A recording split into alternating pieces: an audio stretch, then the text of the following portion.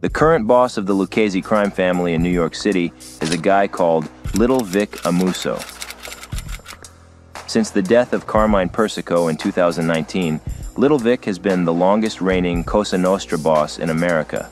The guy has been going strong for over 36 years, and that's saying something considering his time in power has been filled with paranoia and bloodlust.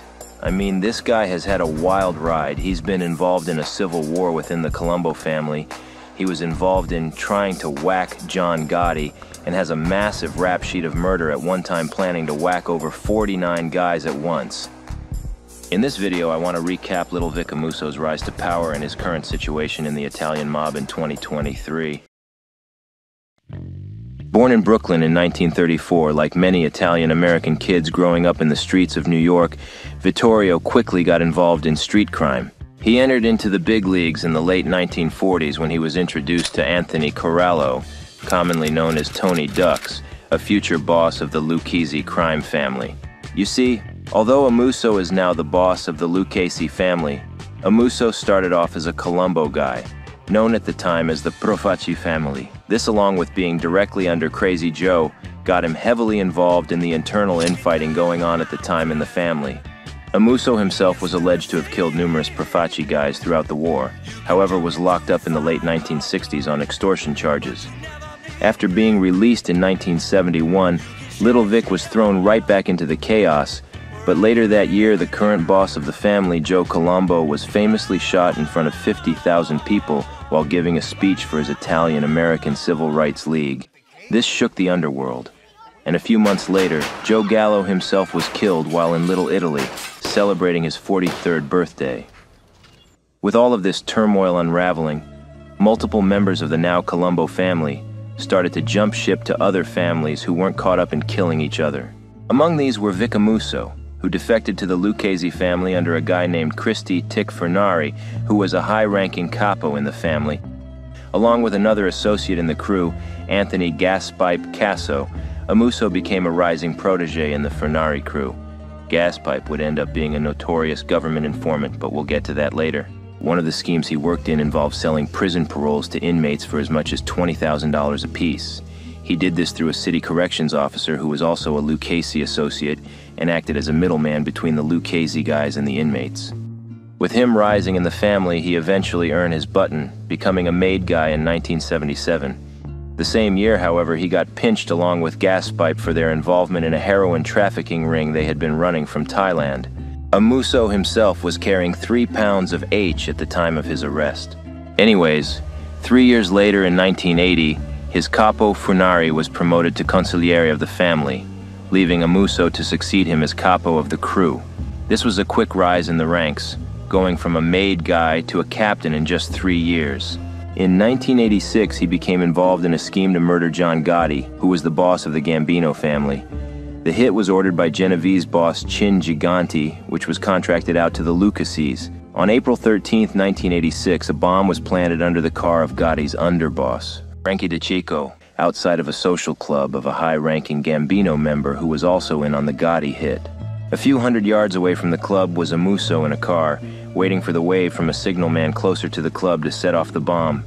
Gotti was meant to visit this social club, and then him and DeCicco would take his car and head to Manhattan. What the hit crew didn't know was that Gotti had sent word earlier that morning that he wanted his crew to meet him in Little Italy in Manhattan instead of him visiting the club. While at the social club, some made guy allegedly asked DeCicco for a business card to some lawyer, and Sammy Gravano offered to fetch it from DeCicco's car, but DeCicco insisted he would go get it. He left the club with another man around Gotti's height and build, and when DeCicco entered the car, the signalman believed he saw DeCicco and Gotti and waved the signal to Amuso's position.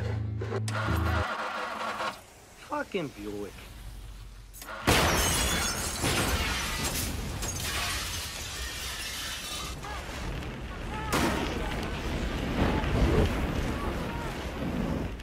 The explosion sent shards of glass and metal into the sky as the Gambino crew rushed outside.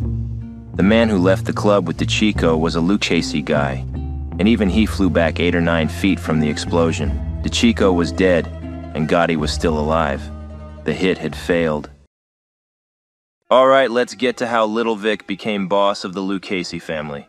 It all started with the famous commission trial in 1985, which saw most of the highest ranking members of Cosa Nostra sent away for life. This was headed by Rudy Giuliani, and the case was actually in part built upon the information laid out in former mob boss Joseph Bonanno's autobiography, A Man of Honor. Rudy Giuliani admitted that Joe Bonanno's book basically gave him the blueprints to the commission case. And then I read Joe Bonanno's book, which is an extremely arrogant book. But in it, he did a complete outline of when the commission began back in the late 20s or 30s, who ran it then. And the minute I saw that, I said, Thank you, Joe. You just gave me half of a RICO case. Jesus Christ, to get back on topic, Tony Ducks, along with his underboss, were indicted in the commission case. Initially, Tony Ducks appointed Tony Luongo as acting boss in 1986, however, he was murdered later that year. It was suspected that Amuso and Gaspipe were behind this, as Amuso was Luongo's personal bodyguard, and Luongo was a barrier between Amuso and power. To avoid further infighting and turmoil, Tony Ducks summoned both Gaspipe and Amuso to their former Capo Furnari's house. There he sat both of them down and told them to decide which one of them would become the boss if he were convicted in the commission case. The two decided Amuso would take the helm, and on January 13, 1987, Little Vic Amuso was declared the official boss of the Lucchese family following Tony Ducks being sentenced to life in prison. Amuso's reign as boss is an eventful one. He's renowned for his ruthlessness and paranoia. That's not to say he didn't make the family money, though. I mean, the guy made money. All the way up until 1990, all the families in New York rigged bids for around 75% of $191 million worth of window contracts. Yeah, window contracts with union payoffs of between $1 to $2 per window installed. The total take of the rigging totaled about $142 million among the five families, including the Lucchese's.